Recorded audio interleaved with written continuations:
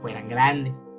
Pero hubo un día en el que me atendió un chavo, pero al lado, al lado estaba la gerente, una gorda.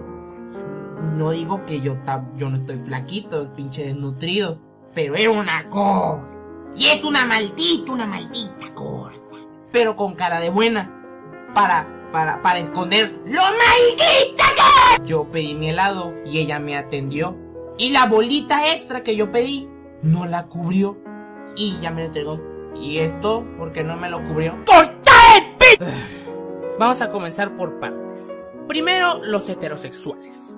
Hace mucho tiempo los heteros han odiado a la gente diferente.